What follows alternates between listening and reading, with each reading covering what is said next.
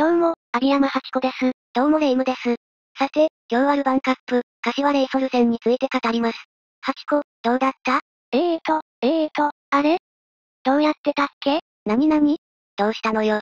うーん、思い出せないんだよな負けるってどうやるんだったっけ？気持ち悪いお前わかりやすいな。調子に乗ってんのわかりやすいな。確かに先週に引き続き、終了間際の劇的なゴールで引き分け。調子に乗るのもわかるわ。つまり、大満足ってことね。いや、それは違う。全然満足じゃない。はっきり言って、今シーズンワーストの試合内容だった。え？そうなの？どこら辺がお気に召さなかったのかしら？とにかく失点が安すぎたな。とにかく失点を少なく、できれば無失点で終わる。これが長谷部イズムの大原則のはずだ。まあ確かに。その辺は長谷部監督がいつも言っていることね。それじゃ具体的に試合を振り返ってみましょう。まずはスタメンがこちら。まあ、なんといっても一番の驚きは前田一花の先発ね。そうだな。使わなければならない状況だったのかもしれないが、それにしてもトップチームデビューが富安より早い選手が出てくるなんて、想像していなかったな。感想は？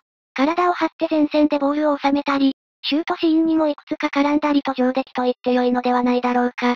ただ、欲を言えばディフェンス面で相手にジョギングスピードで近づいていく、なんちゃってプレスになっていたので、その辺は山岸パイセンなどを見習って、若者らしくスプリントして欲しかったな。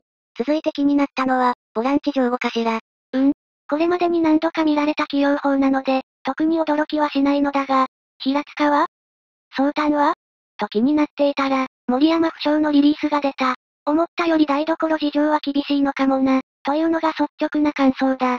率直に言って、今日の城後はあまり良い出来ではなかったな。あまり、だけど、もちろん本職のポジションではないからだけど。あんた、城後には甘いわよね。私だけではない。我々は大抵、城後に甘い。そしてもう一つ、トピックとしては。紺野カムバック落ち着いて。紺野についてはまた後で詳しく聞くわ。さて、試合経過を追っていくと、まずは前半のスタッツから。シュート数では倍以上上回っていながら2失点。でも、それほど悪いようには感じなかったのだけど、試合開始から10分ほどして感じたのは、柏の状態がものすごく悪い、ということだ。確かに今シーズン、まだ勝ち星がないみたいね。当然ながら柏は、選手のクオリティが低いチームではないのだが、うまくいっていないのは明白だった。だから、これは是が非でも勝たねば、スリーポイント、きっちり取ってしまわねばならないゲームだと感じた。そして実際、ゲームの入りは悪くなかった。しかし、13分にあっさりコーナーキックら失点。相手に先にニアで触られてしまい、特にディフェンスに落ち度があった失点ではなかったが、なんだからしくない、ふわふわしてんなぁ、と思っていたら2点目だ。確かに、らしくない失点よね。そうなんだ。左サイドで達也とケネディが前に出ていったその裏を突かれて、突破された。こういう後ろ向きに守備させられたこと自体が問題。アビスパはこの状態が極端に少ないチーム。しっかりと5人でレーンを埋めて常に相手を前に置いて守備をする。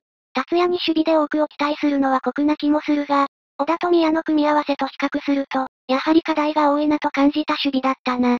しかし、今年のアビスパは違うわよ。29分には山岸のゴールで反撃開始。それほどイージーなゴールではなかったと思う。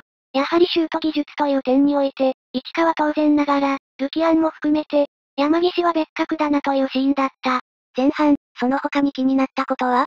達也の切り返しが完全に読まれていること、ケネディの状況判断のまずさ、かな。あんた、その二人に厳しいわね。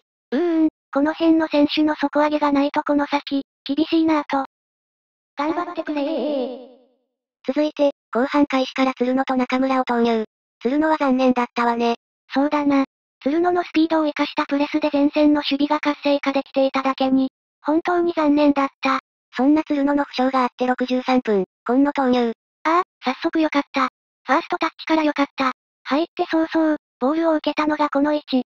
キープ力のある逆足の選手にこれくらい低い位置でボールを持たれると、相手は飛び込みにくいし、右サイドの前方にはスペースを空けることができるしで、攻撃にアクセントがつけられるようになった。確かにそうね。で、そんないけそうな雰囲気あったのに67分に3失点目。これもイージーなパスミスからの安い失点だ。こういう失点をしないのがアビスパの真骨頂な気がするのだが。で、ここでスクランブル体制。ウェリントンと湯沢を投入。4バックにしたけど、湯沢を右に、前島を左にと入れ替えたわね。そうだな。おそらく、今野と湯沢の関係性に期待したのではないだろうか。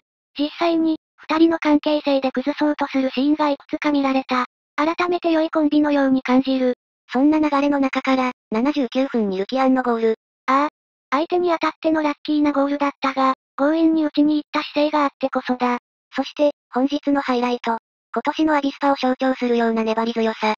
コーナーキックの流れから、混戦の中、湯沢のちょっとよくわからない、飛び膝蹴りのようなゴールが生まれる。さすが、信頼を裏切らない男、湯沢。もうあそこにいたこと自体が素晴らしい。そして、あまりやらないショートコーナーから、今野が速いボールをキーパーとディフェンスラインの間に入れたのが良かった。